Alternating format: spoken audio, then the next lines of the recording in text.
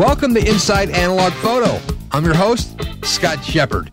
The Inside Analog Photo radio program is all about the traditional photographic process. We talk about all aspects of analog photography, including the hybrid workflow. You can find out more information over at www.insideanalogphoto.com. And of course, Inside Analog Photo is brought to you by Fujifilm, making life more colorful.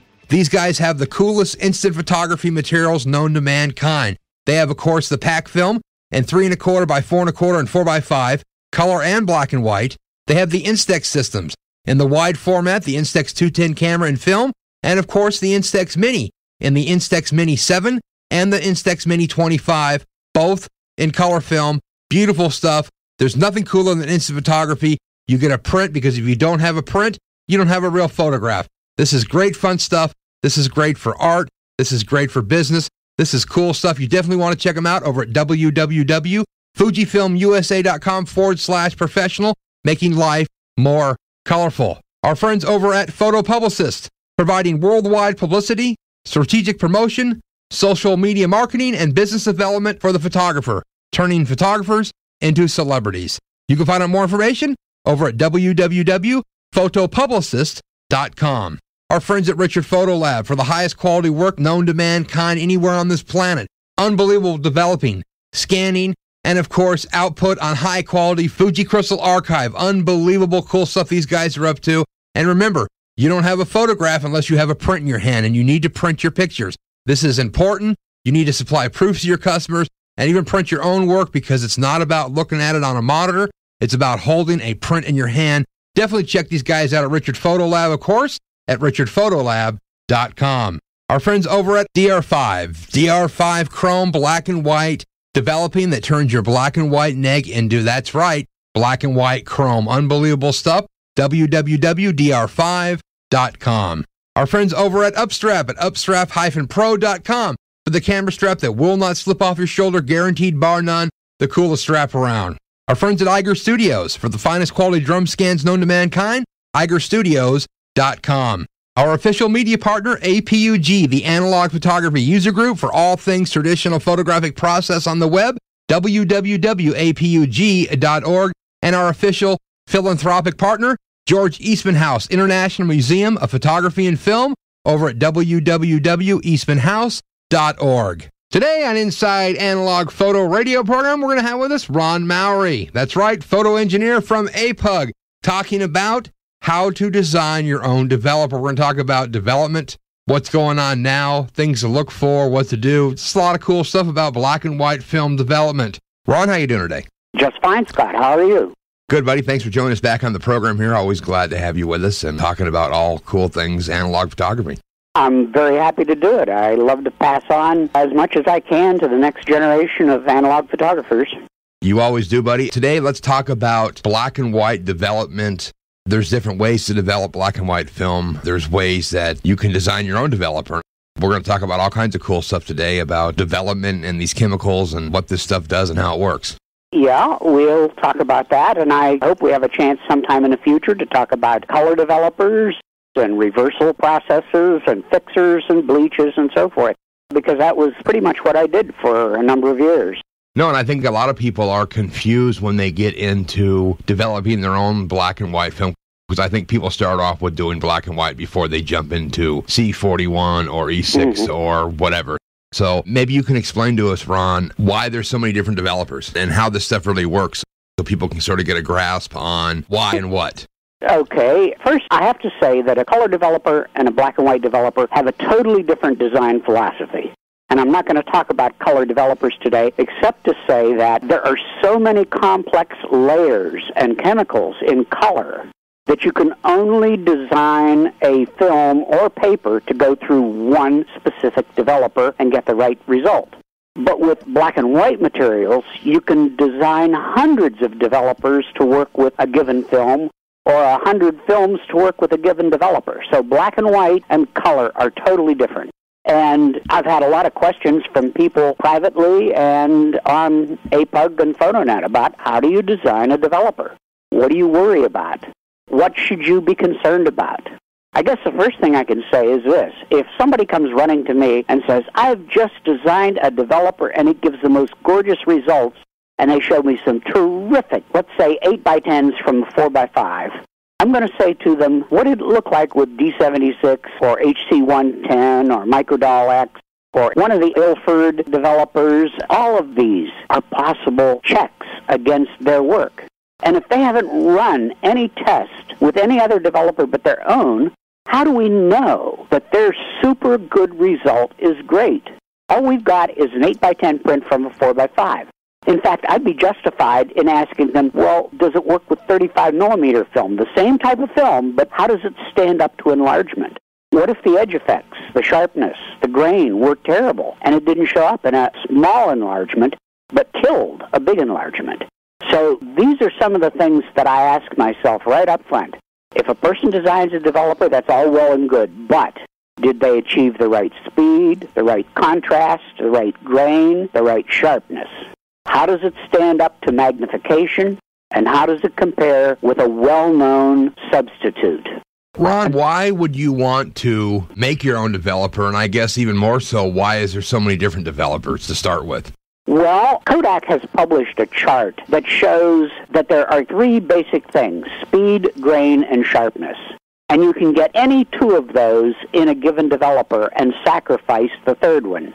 And every developer for black and white that's out there is designed around that triad of parameters speed, grain, and sharpness. So, for example, if you lose a stop in speed, you can get terrific grain and sharpness out of developer A. You can gain all kinds of speed, but your sharpness or grain may go bad. So you have all of these developers out there to pick and choose from. And they work better or worse with different films. So let's stick with a common thread on this question. So let's say I'm shooting T-Max 400 and Kodak makes T-Max Developer, right? Yeah. Wouldn't I want to use T-Max Developer with the film made by the same guy that makes the developer?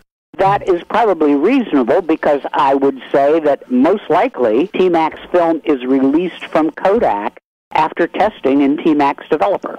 So Kodak knows all about how it responds in T-Max Developer. Now, I also happen to know that they do test products in D76. So there's at least two funnels, if you will, that the T-Max film will go through before it goes out the door. And they have engineers at Kodak that could probably tell you what developer it went through if somebody returned a sample to them. So yes, the film and the developer are optimized at some point to fit together. That doesn't mean that another developer isn't as good. It just means that it's not the optimum. Now, is all this what we would say optimum all subjective depending on who's looking at it and how the workflow and what you're doing with it is? Or is there a scientific exact that says, okay, well, this is optimum based off of some preset ISO standard or something? Okay, first off, there are ISO standards. And if Kodak says we have ISO 100, it has to fit into that standard or they can't claim it. But apart from that, it's very common for people to mistake, for example, sharpness for contrast. A high contrast developer or a high contrast film subjectively appears sharper to the human eye than a low contrast film that actually has higher sharpness. So Kodak, I know, tests the film both ways. They test it scientifically to come up with a numeric value for speed, sharpness, and grain. But then they make hundreds upon hundreds of pictures and give them to customers and employees alike to evaluate. And we'd sit on panels and select which pictures we thought were better for sharpness and so forth. And if it turns out that a film looks sharper, even if it isn't, that may be better for sales than the other way around. What's the correct test method to say, I like this developer with this film? Or if you want to do your own test, I mean, should you shoot Air Force resolution charts, GretagMacbeth, color charts? I mean, what is the correct nomenclature or the right way to do photographic tests? I mean, yeah, you can go out and shoot some trees or maybe shoot a picture of your wife or kids or you can do a portrait. But what's really the right way to test these things and have the correct criteria that when you're taking a test photo for a film test, to be able to say this is correct and it is sharper and it's not sharper? Well, there are a couple of ways you can go about it, but the easiest way is to start out by shooting some scenes with a mixture of images. such as a building with a flat white or gray background, so you can look at grain. A forest scene with lots of detail, with leaves and patterns and everything, so you can look at highlights and shadows. And you can also look at a Macbeth color checker. And this is even true of black and white film because you want to see what the color gradation is like. You might shoot someone with gaudy clothes on, people with different complexions to see how they show up. A freckle faced redhead is a very difficult subject. African Americans have very complex skin structures that they can see and we Caucasians tend to ignore. This is a very difficult subject, but anyhow, a person can go about it that way. And what they would generally do is to shoot one exactly as the manufacturer specifies and process it as they specify. So if it's ISO 100, shoot it at 100. If it's daylight, shoot it daylight. And if it's to be processed for eight minutes in D76 as the recommended developer, do it. So here's another one for you now that you're talking about shooting it as it calls for. So T-Max 400, TMY 3200. We're just talking about Kodak right now, and it could be anybody. It could be a Neopan 1600. It could be Ilford HP4. I shoot Ilford a lot. So here's a question. They say, oh, this is 100 speed film. Well, a lot of people shoot it at 25 or 400. So the question yeah. is black and white has such a large range that it actually works with. It seems to throw another mess into the mix because you can develop it differently using a different developer to change the rating of the speed. So what's really true? Is there anything when it comes okay. to black and white that has any truth at all to it? Yes. That comes as the second part of my answer to you. The first thing you do is what I said before. Exactly as the manufacturer describes for development, shooting conditions, and everything. Then start to fit the film into your workflow, your techniques, as far as speed and scenery goes, and see if it performs as good or better with different conditions. So you may find that under the way you're shooting the film, ISO 25 might be better than ISO 100, so you're grossly overexposing it but then you underdevelop it and you get a lot finer grain or something like that. You see what I'm saying? Right. And so from the base point on, you have this wide open window that you can go towards to look for something better. Now, in point of fact, it would be very nice to compound a developer that would work for all films under all conditions. That is difficult, but possible. I've got ideas along that track myself, but since it's very, very difficult to do, and it takes a lot of time and burns a lot of film, as you might imagine, I haven't undertaken any film developer compounding lately. I've been mostly concentrating on paper developers because they're much simpler to compound than film developers. Do you find that there is even a need to try to develop any more different film developers because there's already so many out there and there's so many formulas for what people have tried, or do you find that there's still a need for something better? There is a need for something better. I'll give you an example. How would you like a developer that just won't quit? That you can just keep running film or paper through and it keeps its activity up. It lasts and lasts. Some developers, like the infamous Xtol, are famous for dying very unpredictably, right? Right. They just go away really quick especially right in the middle of developing something they do. Yes, exactly. That's typical of ascorbate developers. I've heard rumor that Kodak claimed they could do better with the developer, but I have no proof one way or the other, except to say that about the time Xtol was first compounded and released, they had a lot of packaging problems with it. They had a lot of infant death with the developer freshly mixed going bad. It was about 88, if I remember rightly. They were about ready to close down the black and white R&D effort pretty much in terms of developers, fixers, and stuff like that, because they felt that there might be a glut on the market with black and white chemistry. So they started to cut back on the work. But there is a lot to do yet for speed, grain, and sharpness in film developers, overall for capacity of developers, and also for pollution. Now, on that latter, that's pretty hard. I've entered dialogue with a number of people about the pollution factor. Let's take two developers, one that has very high capacity, but it also is not environmentally friendly, and another one that has very low capacity, but is very environmentally friendly. One you dump every hour, and the other one you dump every month. the one that you're dumping every month is not environmentally as friendly.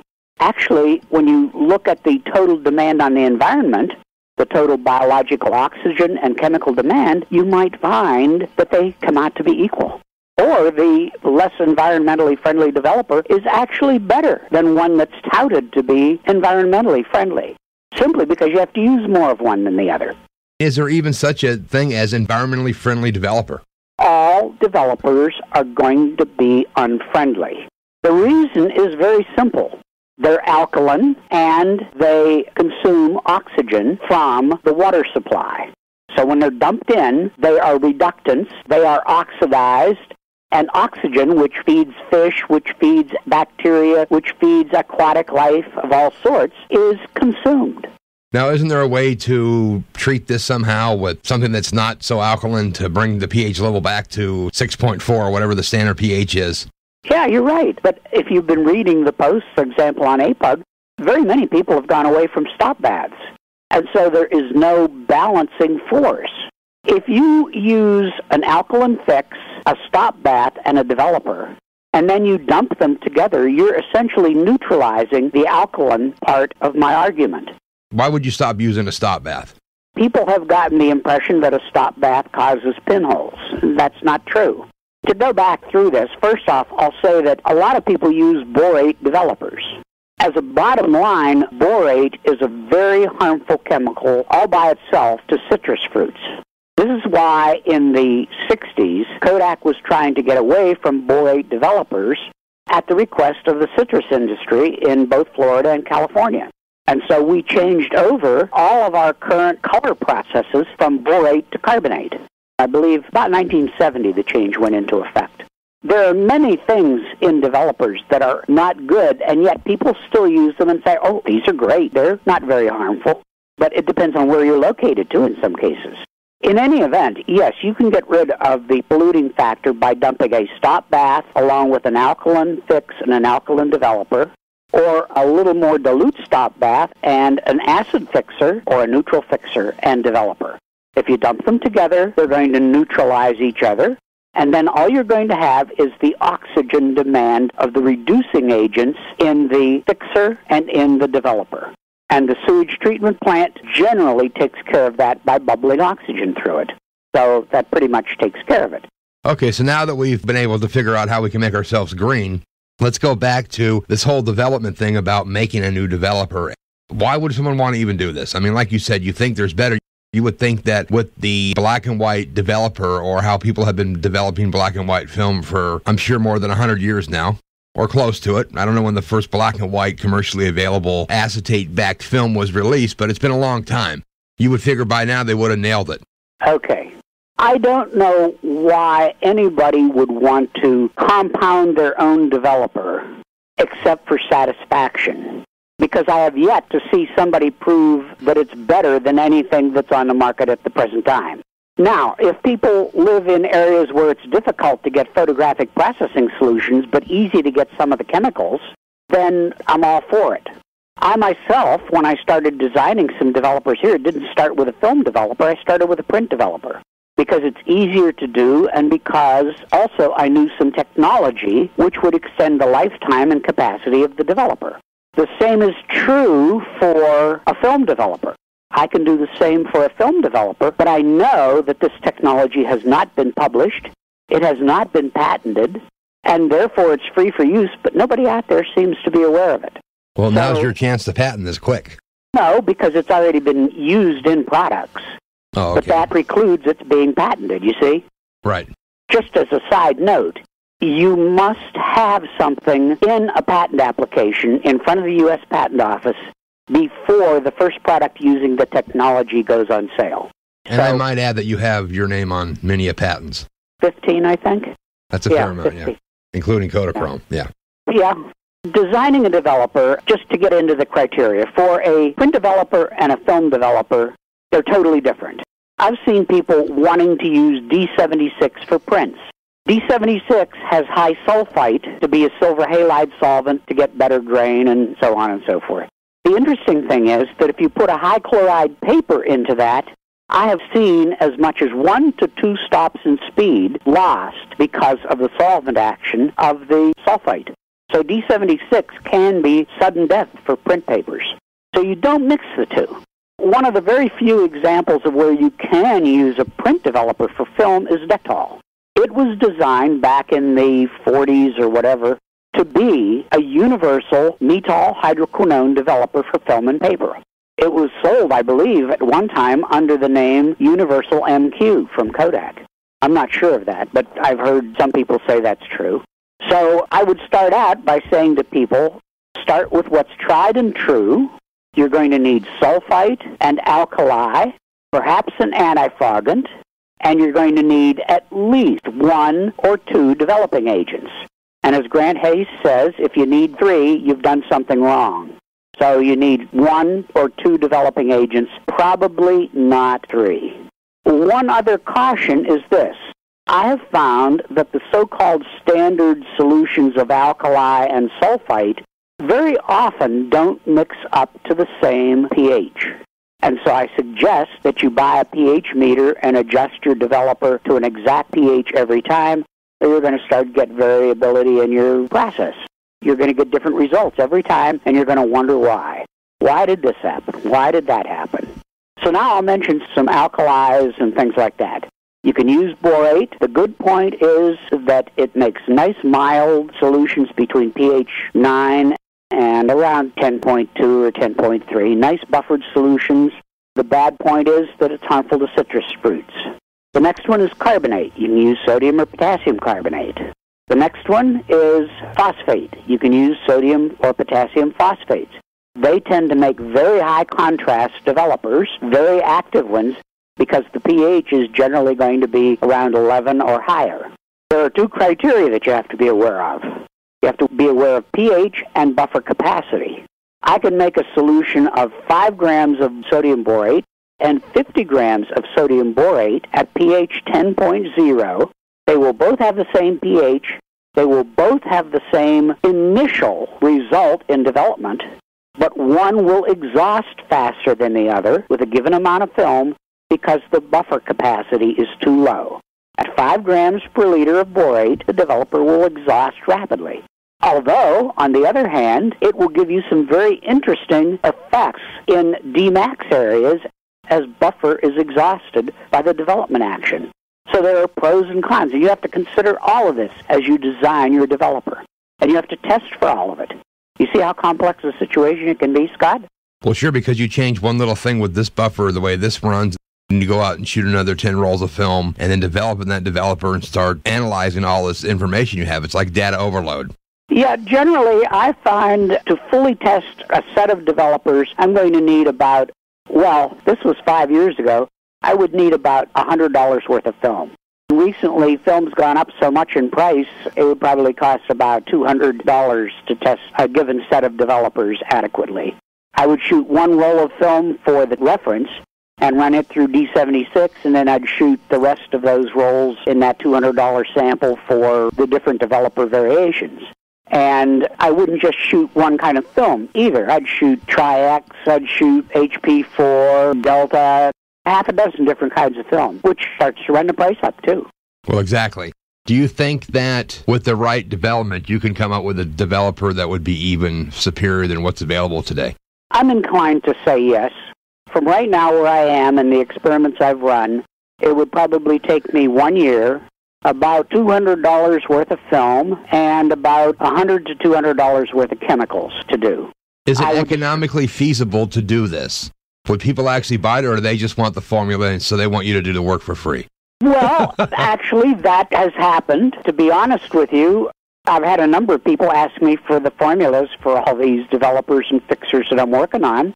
And I say, hey, look, it's cost me a couple of hundred dollars to develop this. What are the people going to do that want to go out and buy it from a place that wants to manufacture it? Or how can I sell it or give it to any other company if somebody else is willing to give it to them? I don't want to be selfish about it, and I don't want to be restrictive, but I just as soon give it to somebody like the Formulary or Digital Truth than give it away freely. Because you see, those places deserve to stay in business. You know what I'm saying? How would we suffer if we could no longer buy photochemicals from places like Digital Truth and the Formulary? Well, you could go after commercial chemical suppliers, but then they're going to think that you're manufacturing drugs, probably. Exactly. I went through this recently with Cole-Parmer. I tried to buy some Tygon tubing for emulsion making pumps. They refused categorically to sell me anything. No, just Tygon tubing. I finally had to go through an intermediate company, and they were able to get it for me. But they had to explain that I was uh, DEA approved and this and that and the other thing. I cannot buy anything but simple spatulas and just odds and ends from Ward Scientific. I can drive over to Ward's headquarters from my home, and I can place a big order there, but not one single chemical, nothing. Just odds and ends, miscellaneous lab stuff. And even that is rather restricted. I had a friend try to buy a three neck flask. I'm trying to remember what it was for. He tried to buy a three neck flask, and he was refused. So well, I guess the thing is, all these supply houses figure, okay, well, you want to buy a flask or a 20 foot roll of tubing. And for them, with the man breathing down their back so hard, it's not worth them to even sell you anything. They're just like, goodbye, go away. That's true. I've talked to people at some of these small chemical supply houses, and they tell me that they are regularly inspected by the FBI and Homeland Security, DEA, whatever agencies are interested and spotlight them that particular week. And they'll come in and have to open their records to the inspecting organizations. So, yes, it's becoming a very, very restrictive situation. So back to the point, that's why it's cool that these guys are selling business like the Formulary and so forth and so on, because they'll sell you stuff to develop your black and white film or even your color film or whatever you want. That's right. And I think that if everybody went out to mix their own chemicals, very gradually you would see places like the Formulary, Digital Truth, and other places that sell photochemicals just disappear one by one by one because you buy a, a one pound bottle of Metol, it's going to last you maybe a year, two years. In the meantime, those companies aren't getting any sales. But if you buy a gallon kit of developer every other month, it's going to keep them going. And they're going to have better turnover in their product, too. So everybody's going to get a better deal because they get fresh product. Yes, and you can see what's happened Kodak has cut back rather drastically on the production of their chemicals.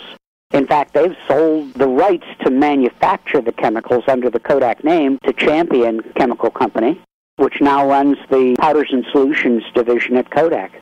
So when you buy Kodak developer that's a powder or a solution or even a bottle, liquid chemical, it all comes from Champion. It's really not even Kodak anymore. It's coming from Kodak Park, it's coming from the original Kodak equipment, as I understand it, but it's managed by Champion. I may be mistaken, but that's my understanding. Nevertheless, people should support the people that make the product they use instead of trying to make their own. I guess the point would be where would you proceed on making a new developer? What's the key point that you find that people need with a fresh developer? Is it going to be the longevity? Is it going to be how green the product is? Is it going to be that it's going to be sharper with better contrast with this? What's the biggest factor you find right now, Ron, that's going to be the key point to say, okay, I'm going to go do this? Well, first off, I'm going to work on a developer that has great longevity or great capacity or some intermediate combination of them both. Secondly, I'm going to try and get the best speed, grain, and sharpness out of it. So those will be my criteria to give the customer something better. Pretty much HC110 approaches that better than most on the market today, I think. Although there are a lot of others that do just as well. I'm trying to get some ideas here to present. You see, HC110 was Kodak's idea of making a very concentrated, long lived syrup. And to do that, they had to go through some very weird chemical tricks to do it. They start out with triethanolamine and diethanolamine, and they pump sulfur dioxide gas and hydrogen bromide gas into it so that they don't create any extraneous precipitatable salts. They actually form the salt out of the alkali in the absence of water.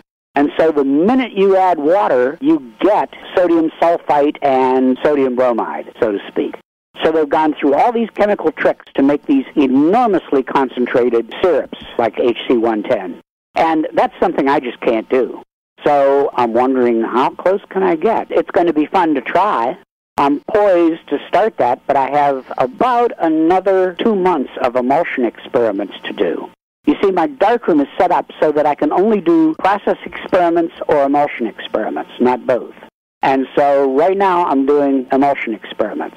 And as soon as I'm finished with a T-grain and a high iodide emulsion, then I have to strip down the darkroom, clean it up, and convert over to solution development work. What do you find is the biggest request that people are looking for from you? Do they want to see the emulsion work?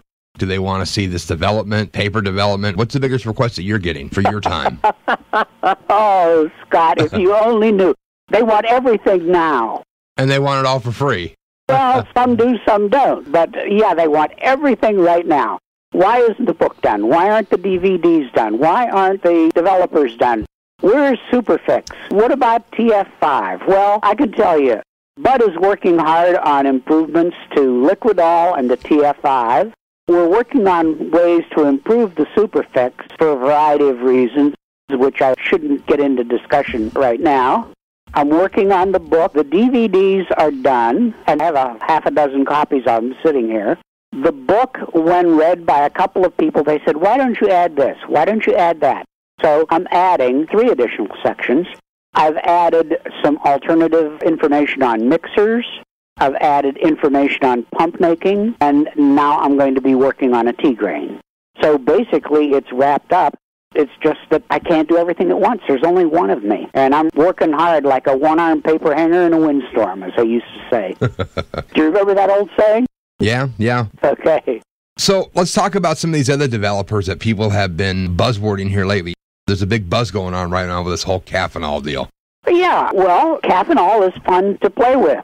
If I might add, Grant Haist has said you can make such a thing as Wineol, which uses burgundy wine. He has made Genesee Riverol by going down to the river here in Rochester and taking a flask of river water, and he's been able to develop film in that. And one which he does not recommend to anybody, but it would be affectionately called uranol. I'll leave that to your imagination. So here's the thing. I mean, what's the biggest deal to make this stuff work? I mean, it seems Oh, that okay. you can develop black and white film in literally anything. strong coffee and washing soda, and you will develop film. Depending on the strength of the coffee and soda, it will take you about 15 to 30 minutes to develop a decent negative. What actually develops it? What's this process that happens with either strong coffee or these other alkalines and chemicals and all these other developers? I mean, what actually goes on when you pour this stuff in? Well, there are a number of alkaloids in the coffee or wine or even orange juice, which contains vitamin C, which is ascorbic acid. Any one of those is what's called a reducing agent. When that reducing agent hits exposed silver, the reducing agent is oxidized and the exposed silver halide is reduced to silver metal and forms a black image. And it's just as simple as that. One chemical goes one way and another chemical goes the other way in chemical state. And the result is a visible image. And if you control it properly with alkali, sulfite, antifogant, all of these other ingredients, they will help modify that image to give better or worse grain, higher or lower contrast, and so on. So if you took, for example, Caffeinol, and instead of using washing soda, you used lye, you would get much higher contrast and more rapid development. Now, I don't recommend lye because of its extreme toxicity and caustic effects on human skin and eyes. But that's a typical example. If you increase or reduce the amount of carbonate in Caffeinol, you'll change the contrast higher or lower, you'll change the edge effects, and all of the other things. You can repress edge effects by adding an antifogant. You can increase edge effects by decreasing antifogant or decreasing the buffer capacity of the developer. Basically, it's a trial and error for almost any film because each film is going to react differently because of the different iodide levels in the film. The higher the iodide, the more the edge effect. If you add iodide to the developer, it acts like an iodide buffer and represses edge effects. And so you can play around with sharpness. And you say, gee, I got a great developer, and then you change to a low iodide film, and it's so flat and unsharp, you can't believe it. So there you are. You see the problem, Scott? Sure. You've got to know or appreciate some degree of chemistry to design a film developer. And I guess I just have to leave it at that. I would recommend that people stick with carbonate or triethanolamine. I'd recommend they stick with sulfite and bromide. I'd recommend that they avoid iodide. I'd suggest ascorbic acid, hydroquinone, metol, paraminophenol, any number of black and white developing agents, dimezone, phenidone, things like that. Those are all possible developing agents. I guess that's about all I can say offhand without getting into specific formulas. But if I gave you one, I wouldn't know if it would work or not. So let's talk about this. Let's look at the current state of analog photography. And maybe this is more of a recommendation. And there's a lot of people now that don't have the knowledge, the whereabouts, the money, or the room to have an optical darkroom. So they like to shoot black and white film. That I have a separate question on that here in a minute. But let's say you do shoot traditional black and white film. You can soup the stuff yourself and then you're going to scan it. Is there a better developer that you've seen for the scanning process over another? What's your recommendation for people that want to do traditional black and white work, but then enter this into a hybrid workflow? Goodness, that depends on the film. Right. And the developer. I would say any Ilford, Kodak, or Fuji film is good. I am most experienced with Kodak developers, and so I would say HC110 or D76. Those are two excellent developers, but I know that Ilford developers are equally as good. It's just that they're very much harder to get here for me. I would say follow the manufacturer's instruction for a film developer combination and see if it suits you. I would buy a small changing bag, a stainless steel reel and tank, put the film on the reel in the changing bag, and then develop it in your kitchen or bathroom sink or bathtub in a plastic tray, though, so that you don't splash stuff onto the porcelain or the stainless steel and then fix and wash and dry in a lint-free space. And if you want to see your photographs up in bright lights, scan them and post them on APUG or someplace like that, PhotoNet. That's the way I'd go. Do you find that more and more people are going this direction? Well, to be frank with you, it's getting so hard to get paper, especially color paper, in cut sheets that I see a lot of people just scanning their negatives and using them on their computer and if family and friends want them, they either send them to family and friends via email or make prints on their printer and give them to whoever asks for them. That's the way it seems to be going. It's getting very difficult to get black and white processed at local stores, if not impossible. I myself don't recommend and do not use the C41 black and white films they end up being processed and printed sometimes on color paper, and I just don't like the result. Always to me, they seem to have a little bit of a color tint to them. So I kind of stay away from them. And also, because you're forming a black dye in this film, the dye is not permanent, just like all dyes. It will say that right on the box, I believe. So I don't offhand recommend the BW, I think it's called CN. The 400 CN. Yeah. In fact, I have a box of it here. I'm just looking to see if it says these dyes, like all dyes, will fade, but it doesn't have one of those on this. So, oh, there it is, the notice on the side. Photo tips inside. I can't even read anymore. I'm getting so blind. I'm blind in one eye and can't see out of the other. That's a problem. yeah, yeah. I'm putting on my reading glasses to see if I can read it.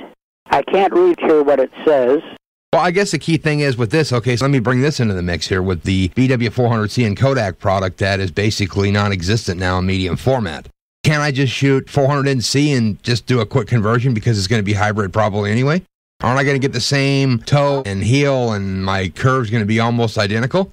Yes, you are. That film, the BW 400 film, has exactly the same curve as Kodacolor 400 film and uh, will yield very nice results if you just want to scan it in, turn it into black and white on a computer screen, and then print it digitally or scan it and post it on a website.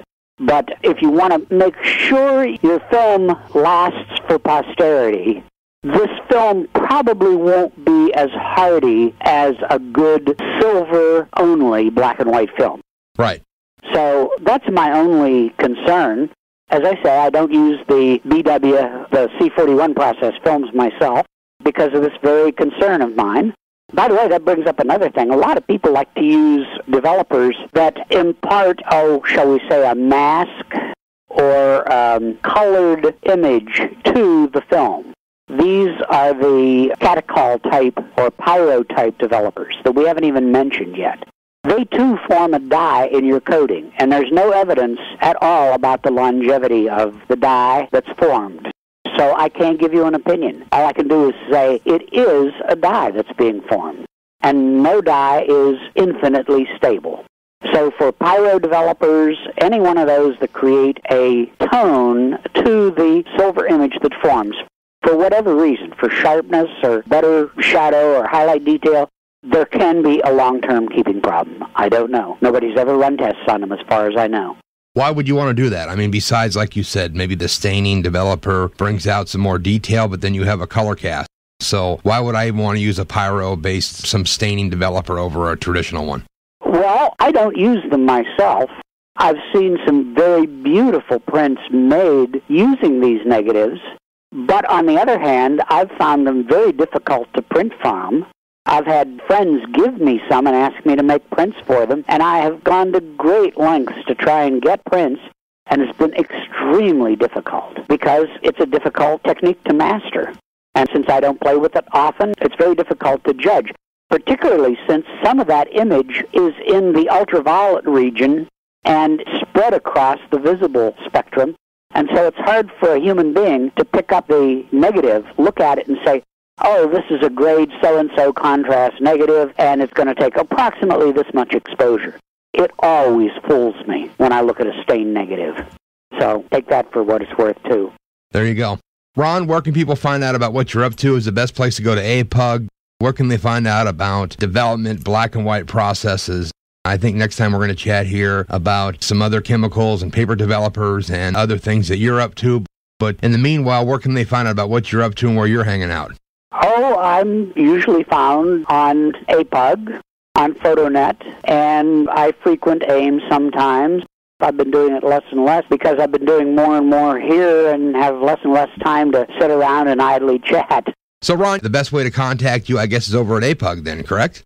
That's so, or they can send me an email. My email is on APUG, so all you have to do is click on my name, and you can either send me a private message or you can send me an email, which is actually much more convenient. I answer all messages. I never neglect a message from anyone, so feel free. Of course, Ron, great work. You're really a huge asset to the analog and film based communities, and this is cool stuff you're doing.